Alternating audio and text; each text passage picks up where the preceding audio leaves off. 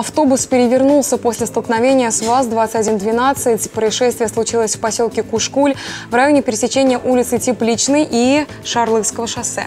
Сотрудниками полиции установлено, что водитель автобуса, двигаясь по улице Тепличной, пошел на обгон впереди идущих транспортных средств. Водитель 12 не заметил автобус и начал совершать поворот налево, в связи с чем произошло столкновение. От удара автобус съехал в кювет и перевернулся на бок. Пострадавших нет.